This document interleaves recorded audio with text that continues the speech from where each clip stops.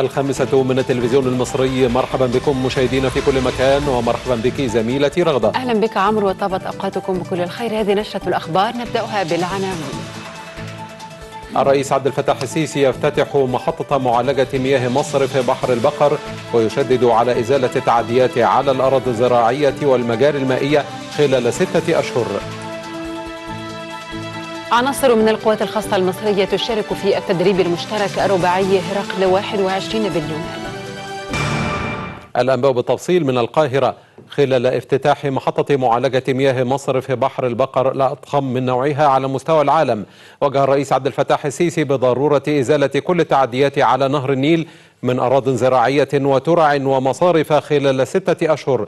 وحذر الرئيس عبد الفتاح السيسي من أنه سيتم إلغاء الدعم لكل من يتعدى على الأراضي الزراعية والمنشآت المائية.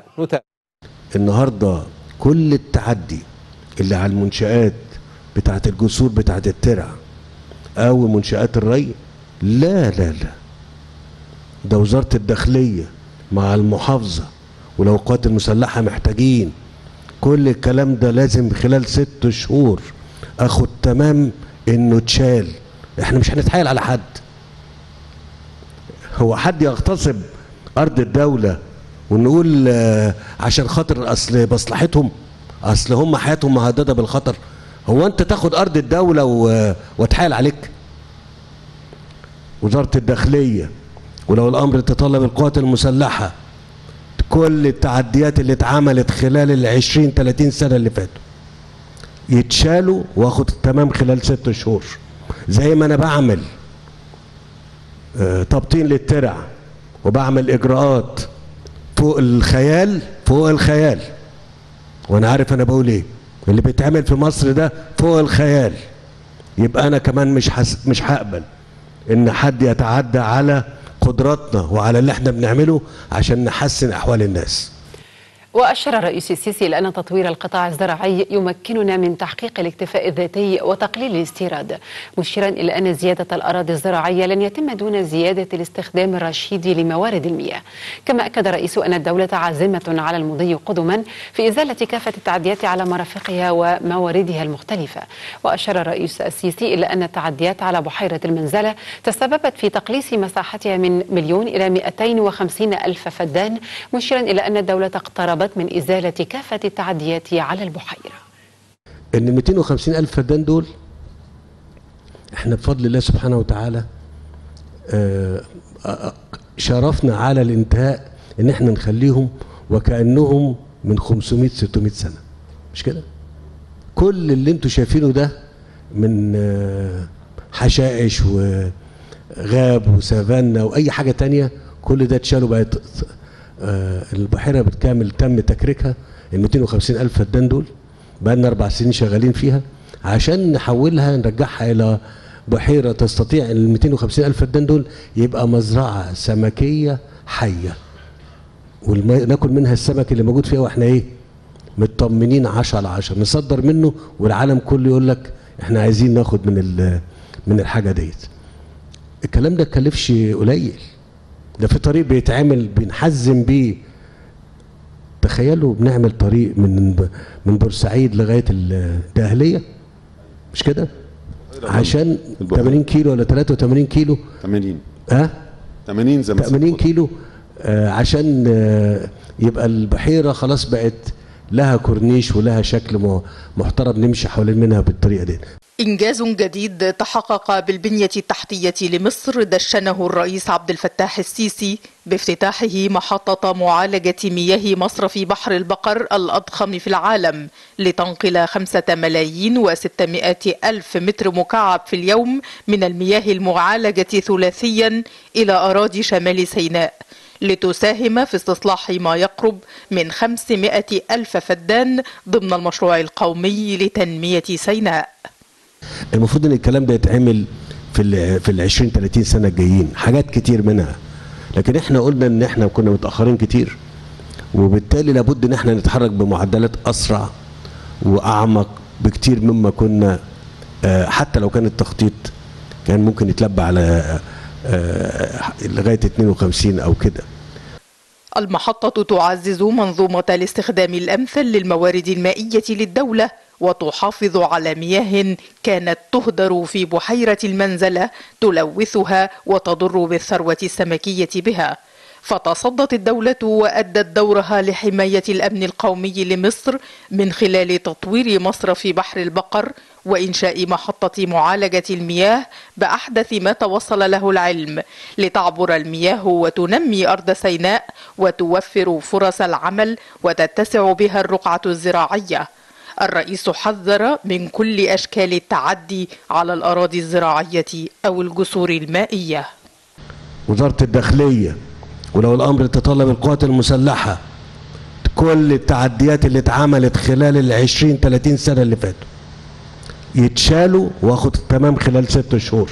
أنا هيبقى من ضمن الإجراءات اللي بعملها حتى استعادة أو إنهاء التعدي وقف كل الدعم اللي بتقدمه الحكومة من خبز وتموين وأي حاجة تانية لأي حد يخالف. أنا بقولها لكم لكل المصريين.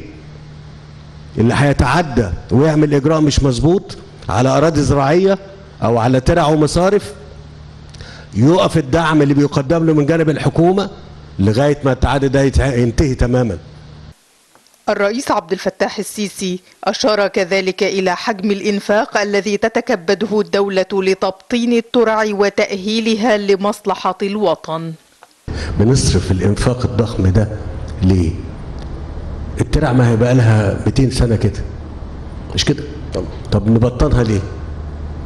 وادفع 60 70 80 مليار جنيه في تبطين ال- ال 20 30 ألف كيلو من الترع بعملها عشان الكلام اللي بيقوله معالي وزير الزراعة إن في شغال في القطاع ده عدد كبير جدا من سكان مصر وكمان بأمن قومي لأن هو في النهاية ال- ال- المحاصيل اللي اللي بتنتج في مصر يا إما تكفينا يا إما نضطر نكمل من بره. نكمل من بره يبقى بنستورد. نستورد يبقى بالدولار.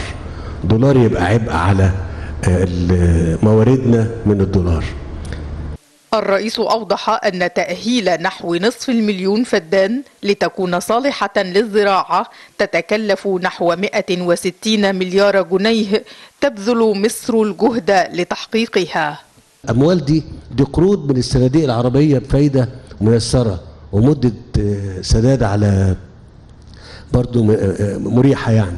فأنتم يا مصريين إحنا إحنا كلنا مع بعض في قارب واحد. بحيرة المنزلة التي كانت تعاني من مياه الصرف الملقاه من مصرف بحر البقر تم تطهيرها وتكريكها وتطويرها لتكون مزرعة سمكية ليس فقط لتلبية الاستهلاك المحلي بل للتصدير أيضا. كل اللي أنتوا شايفينه ده من آه، حشائش وغاب وسافانا وأي حاجة تانية كل ده اتشالوا بقت آه، البحيرة بالكامل تم تكريكها ال 250 ألف فدان دول بقى لنا أربع سنين شغالين فيها عشان نحولها نرجعها إلى بحيرة تستطيع ال 250 ألف فدان دول يبقى مزرعة سمكية حية وناكل منها السمك اللي موجود فيها وإحنا إيه؟ مطمنين 10 على 10 نصدر منه والعالم كله يقول لك إحنا عايزين ناخد من من الحاجة ديت. الرئيس عبد الفتاح السيسي شدد على تأمين كل بناء يتم في سيناء للحماية من يد الإرهاب والشر والحرب ضد البناء. الحرب حربين حرب ضد الإرهاب وحرب البناء. في سينا آه بن بن كل خطوة بنعملها محتاجة تأمين لأن هو صراع ما بين الإرهابيين والأشرار وما بين التنمية في في سينا. محطة رفع المياه وما تشمله من معدات وآلات وطلمبات جعلت الدولة تشجع الصناعة المصرية من خلال التعامل مع شركات وطنية زادت من خطوط إنتاجها لتلبية الحاجة لتلك المعدات بما ساهم كذلك في زيادة فرص العمل.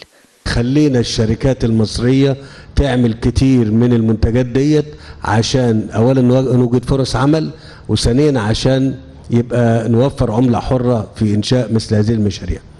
الرئيس دعا المستثمرين والقطاع الخاص إلى زراعة الأفدنة التي أصبحت جاهزة بعد هذا الإنجاز مؤكدا حرص الدولة على توفير المشروعات الخدمية من مدارس ومستشفيات ومناطق صناعية وغيرها من المشروعات الخدمية التي تتيح تغيير شكل الحياة في سيناء. إحنا بنتمنى إن القطاع الخاص والمستثمرين يجوا يعملوا ويشتغلوا فيهم. ياخد عشرة آلاف فدان ياخد عشرين ألف تلاتين ألف زي ما عايز. ويزرع البلد تستفيد وناس تشتغل ويبقى في حياة. كان رئيس مجلس الوزراء الدكتور مصطفى مدبولي قد أشار إلى حجم العمل والمشروعات التي تنفذها الدولة في سيناء وإقليم السويس. كل اللي اتعمل في سينا يعني منذ تحريرها حتى 2014 الاستثمارات بتاعته لم تتجاوز بضع عشرات بضع عشرات من المليارات. فعشان نقول إن النهارده في ست سنوات الدولة المصرية أنفقت وبتنفق 700 مليار نعي تماما كيف كانت الرؤية بتاعت الدولة للإسراع بتنمية سيناء. وزير الموارد المائية والري أوضح أنه بانتهاء تلك المشروعات الجاري تنفيذها ستكون مصر من أكبر الدول في مجال إعادة استخدام المياه على مستوى العالم. بانتهاء المشروعات ديت مصر هتكون من أكبر دولة في العالم في إعادة الاستخدام وده بيزود الكفاءة الكلية لنظام إدارة المية في مصر والإنتاجية بتاعة المية. التحديات التي تواجهها الدولة من محدودية للمياه والتغيرات المناخية عرضها وزير الزراعة موضحا أنه تم تشكيل مجلس وطني لوضع الاستراتيجيات والحلول بالإضافة إلى تحدي الزيادة السكانية لافتا إلى أن التوسع في الرقعة الزراعية تطلب مجهودا وتكاليف باهظة وفرتها الدولة. ونحن الآن بصدد افتتاح محطة مصرف بحر البقر كأكبر محطة لمعالجة مياه الصرف الزراعي في العالم. بطاقة تصل إلى 5.6 من عشر مليون متر مكعب يومي فإنها سوف تؤدي إلى زيادة المساحة المنزرعة في شمال ووسط سيناء لتصل إجمالي المنزرعة والمساحة المنزرعة والجاري تنفيذها بصفة عامة في شبه جزيرة سيناء إلى 675 ألف فدان. رئيس الهيئة الهندسية للقوات المسلحة أكد العمل على تحلية مياه البحر بالتوازي مع معالجة مياه الصرف من خلال منظومة متكاملة لبنية أساسية شاملة في سيناء بالكامل.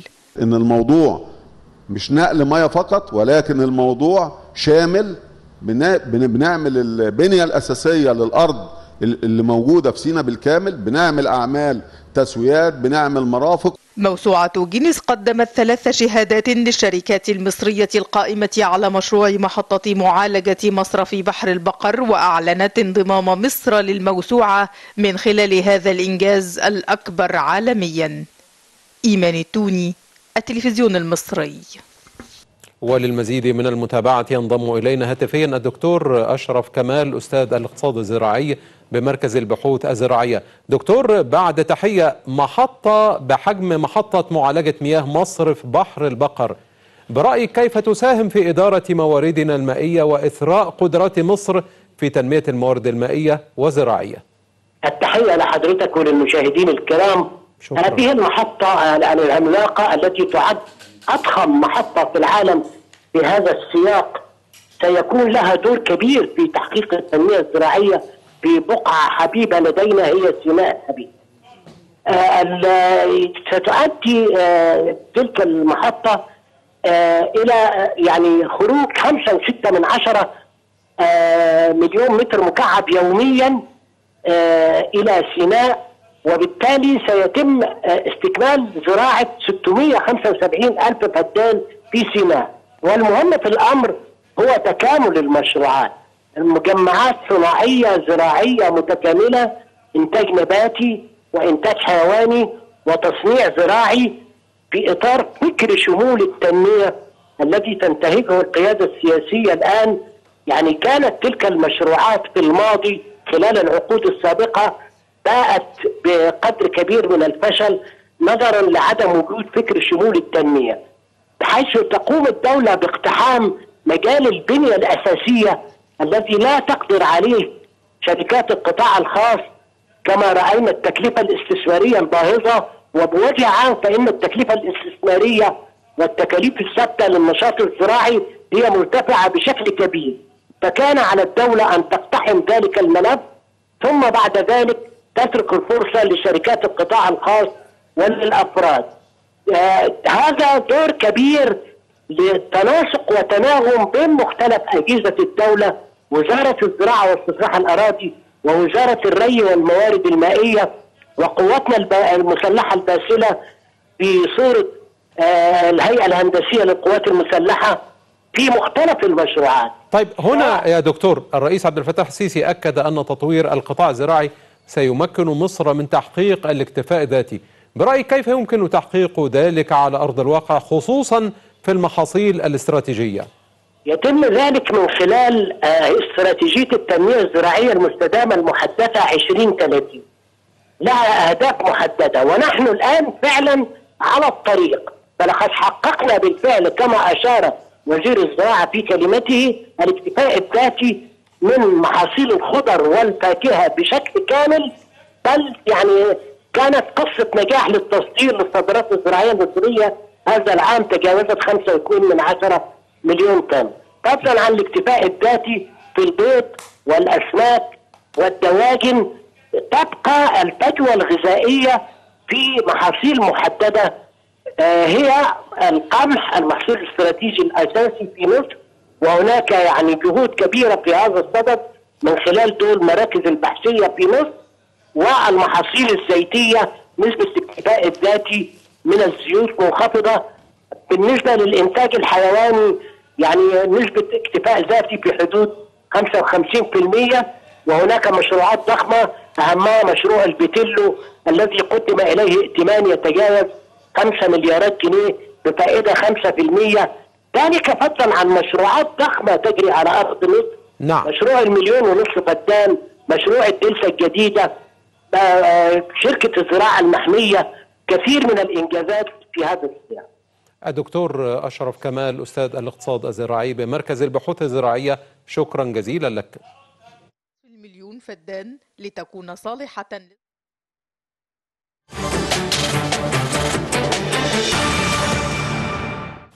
عقد دكتور مصطفى مدبولي رئيس الوزراء اجتماعا مع مروان الغانم مدير عام الصندوق الكويتي للتنمية الاقتصادية العربية بحضور الدكتورة رانيا المشاط وزيرة التعاون الدولي وخلال اللقاء توجه رئيس الوزراء بالشكر للصندوق على دوره البارز في دعم جهود التنمية بمصر خاصة برنامج تنمية شبه جزيرة سيناء.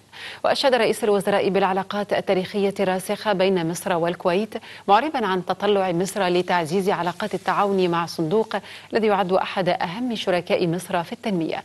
من جانبه أكد الغانم حرص الصندوق على المشاركة في, مشروع في مشروعات تنموية جديدة في مصر خلال المرحلة المقبلة. وفي ذات السياق استعرضت وزيرة التعاون الدولي أهم محاور المشروعات المقترح مشاركة الصندوق الكويتي بها خلال الفترة المقبلة.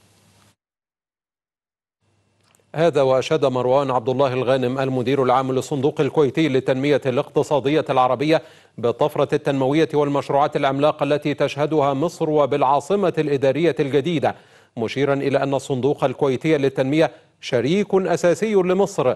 جاء ذلك خلال لقائه الدكتورة رانيا المشاط وزيرة التعاون الدولي. من جانبها أكدت المشاط ثقتها بأن التعاون بين مصر والصندوق الكويتي للتنمية سيشهد مزيدا من التطور والنمو موجهة الشكر للصندوق على دوره البارز في دعم جهود التنمية بمصر. واستعرضت المشاط مع الغانم الموقف الحالي للمشروعات التنموية الجاري تنفيذها بتمويل من الصندوق وأبرزها مشروعات برنامج تنمية شبه جزيرة سيناء. نفذت عناصر من القوات الخاصة المصرية والقوات اليونانية والسعودية والإمارات التدريب المشترك رباعية هرقل 21 الذي استمر تنفيذه عدة أيام للمرة الأولى في اليونان. نفذت عناصر من القوات الخاصة لكل من مصر واليونان والسعودية والإمارات التدريب المشترك الرباعي هرقل 21 والذي استمر تنفيذه على مدار عدة أيام للمرة الأولى بمنطقة بيراموس بدولة اليونان. وقد شهد التدريب تنفيذ العديد من الأنشطة والفعاليات والتي تضمنت عقد عدد من المحاضرات النظرية والعملية في مجال مكافحة العناصر الإرهابية. والتدريب على إدارة أعمال قتال مشترك بين العناصر المشاركة والتدريب على القتال في الأماكن المبنية والمفتوحة وإنقاذ الرهائن والإخلاء الطبي. فضلا عن تنفيذ أعمال الإنزال الجوي والإبرار البحري لعناصر من القوات الخاصة من الصاعقة والمظلات.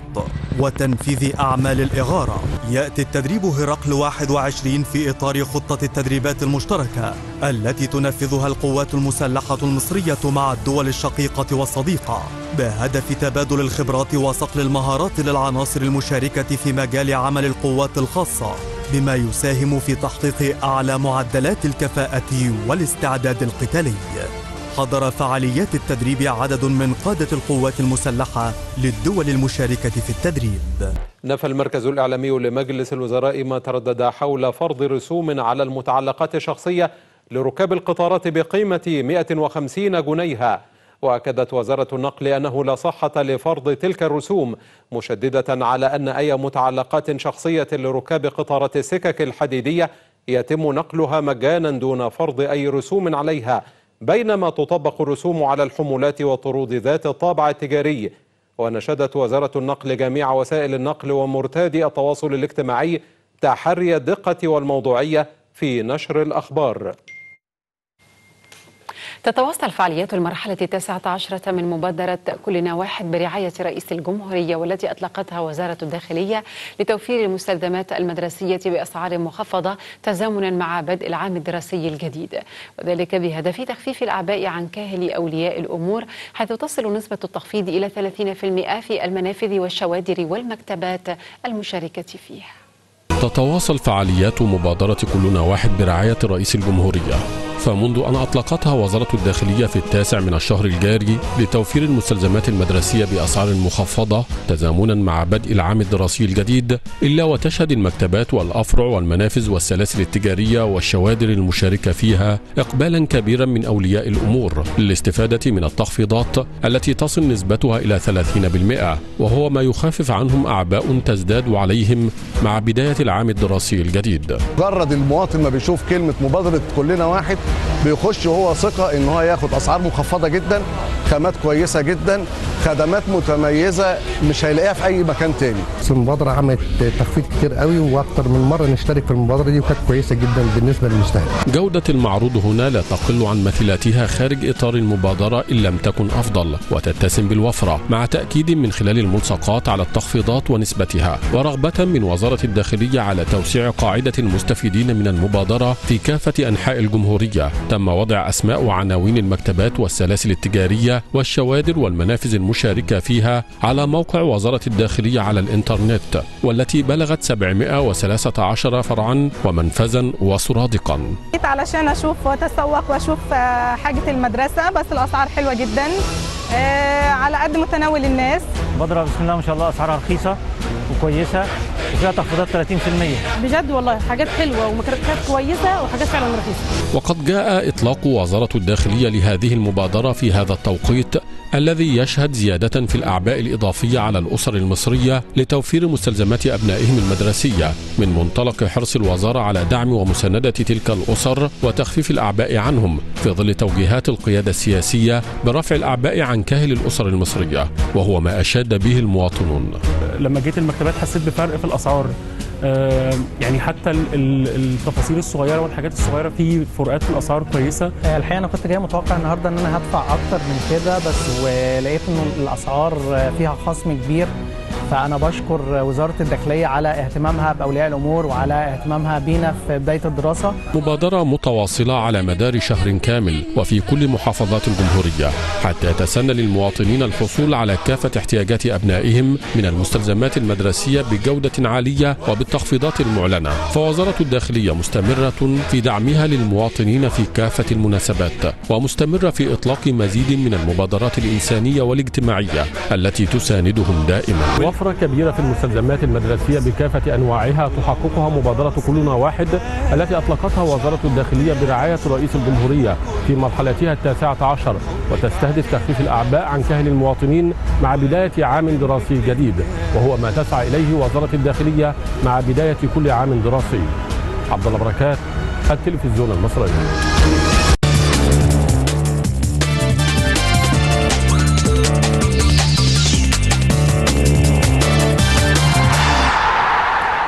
أخبار الرياضة أهلا بحضراتكم وخلال احتفالية تكريم أبطال أولمبياد طوكيو 2020 وبحضور دكتور مجدي يعقوب جراح القلب العالمي أكد وزير التعليم العالي والبحث العلمي الدكتور خالد عبد الغفار حرص الرئيس السيسي على أهمية نشر الوعي الرياضي داخل الجامعات المصرية ومشيرا إلى تنظيم أيام وأسابيع رياضية منذ اليوم الأول لبدء العام الدراسي الجديد. ومشيرا إلى ضرورة تحقيق التوازن في الاهتمام بين اللعبات الجماعية والفردية. من وراء الرياضات المختلفة يحمل بطلها اسم بلده عاليا ما يشرف الوطن ويغذي الانتماء تكريم من وزير التعليم العالي مستحق للطلاب الحاصلين على ميداليات مختلفة في أولمبياد طوكيو الماضية. السنة دي ست ميداليات مع ست أبطال وبالإضافة إلى أبطال كرة اليد اللي أيضا شرفونا في الوصول للادوار النهائية. مهم جدا إن إحنا من خلال الاهتمام بالرياضة في الجامعات وإحنا معنيين الحقيقة من خلال حضراتكم عودة الدراسة يوم السبت القادم السبت 9 في أكتوبر إن شاء الله. من من بداية هذا اليوم وإحنا نازلين بحملة رياضية ثقافية اجتماعية لطلاب الجامعات في الفترة اللي جاية علشان نقدر إن إحنا نرجع تاني التنافس اللي موجود أصلا. ميداليات عالمية تعكس اهتماما أكد عليه أكثر من مرة الرئيس السيسي في أحاديثه المختلفة نحو الرياضة وتأكيد على أرض الواقع من انتشار للمنشآت الرياضية المختلفة في كل الجمهورية من بعد ثورة يونيو. يمكن أنت النهاردة سمعت الوزير وهو بيقول لكل لاعب فاز النهارده بميدالية عايزينه تجيب لنا خمسة معاك يلعبوا اللعبة بتاعتك. إحنا عايزين نوسع القاعدة عايزين الناس كلها تلعب رياضة. أنا عندي 3 مليون طالب وطالبة في الجامعات. لو أنا وصلت إن ال 3 مليون دول بيلعبوا رياضة يبقى أنا حققت نجاح لمصر كلها. وإلى دراسة لعام جديد تبدأ في التاسع من أكتوبر القادم أشار وزير التعليم العالي لضرورة تنظيم أيام وأسابيع رياضية منذ اليوم الأول لبدء العام الدراسي. أحمد نبيل التلفزيون المصري. كرم اللواء خالد عبد العال محافظ القاهرة. أبطال مصر من أبناء محافظة القاهرة المتوجين بميداليات خلال دورة الألعاب البارالمبية بطوكيو. هم محمود محمد صبري فاطمة عمر الفائزان بفضية رفع الأثقال هاني محسن لاعب رفع الأثقال الفائز بالبرونزية. ومنح المحافظ اللاعبين بميداليات تذكارية وشهادات تقدير للجهد الكبير الذي بذلوه. كما منح النائبة حياة خطاب عضو مجلس الشورى ورئيس اللجنة البارالمبية المصرية درع المحافظة تكريما لدور اللجنة في رعاية الأبطال. أكد المحافظ أن اهتمام الرئيس عبد الفتاح السيسي بتكريم أبطال مصر ومنحهم أوسمة الخاصة بالرياضة هو أبلغ رسالة على اهتمام القيادة السياسية ودعمها غير المسبوق للرياضيين وتطوير المنشآت الرياضية. ختام نشرة ونذكركم بأهم ما عرضنا. الرئيس عبد الفتاح السيسي يفتتح محطة معالجة مياه مصر في بحر البقر ويشدد على إزالة التعديات على الأراضي الزراعية والمجاري المائية خلال ستة أشهر.